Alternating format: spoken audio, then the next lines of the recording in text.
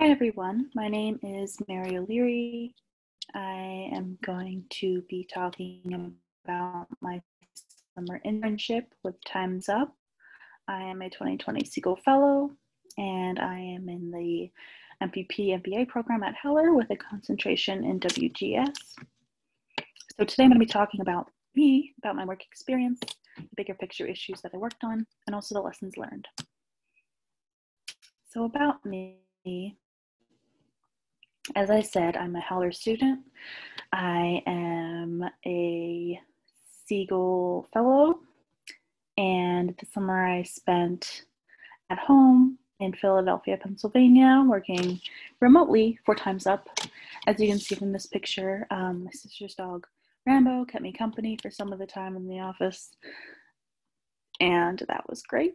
Uh, I really liked that. I also became interested in the Segal program because I served as an AmeriCorps Vista and I have had a lot of service background and undergraduate um, and wanted to keep that going uh, post grad and then also at Heller. So Segal program was a great fit and I really love it. So my work experience at Time's Up, I focused on research, um, mainly qualitative and analysis. So a lot of compilations, a lot of literature reviews, um, recommendations made.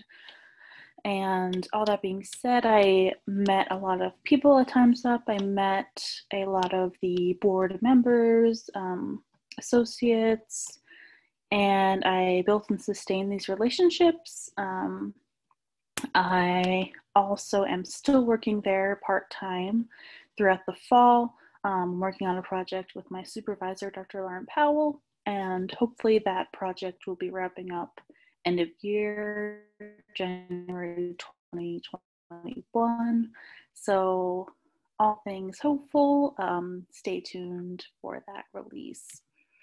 Um, bigger picture obviously, the summer was a whirlwind of COVID, of anti racist efforts. Um, so, all this was kind of incorporated into my work and it's still being um, a huge factor in, like I mentioned, the project I'm still working on, which is focusing on anti racism and anti sexism in healthcare and public health and how those systems can become actively anti racist, anti sexist, um, and also free of sexual harassment.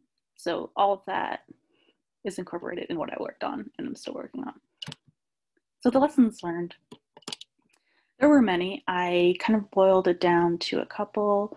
Um, the importance of self advocacy was huge. Um, I learned to kind of take initiative to ask for more work, ask for help on something, ask to connect with um, a partner or someone in a different sector of Time's Up. I asked to um, be included on projects, um, present in meetings, kind of help with focus groups, all of that. So, really putting myself out there um, and making sure that I'm applying myself in ways that I can, and to also gain more experience in different things that I didn't know I might have been interested in before. So, that leads me into career plans. I kind of um, had my interest for law sparked over the summer, so now I'm considering law school in the future. Who knows if that will happen? Um, I am definitely more interested in policy and policy research than ever before, so can definitely see myself going down that path even further. So, definitely broaden my horizons. And so, all in all, because of my experience as a Segal Fellow, I definitely feel more confident in myself, knowing that I have a support system of fellows around me, and also um, to kind of be inspired by as well, because we're all doing such amazing work, and it kind of keeps me motivated going forward. So, thank you. Thank you, Susan Kyle. Thank you to my 2020 cohort. Thank you to all the fellows. Thank you to the whole Segal program. Um, this was a great experience, and I'm excited to continue to work um, with you guys and yeah, see what we can all accomplish together. Thank you.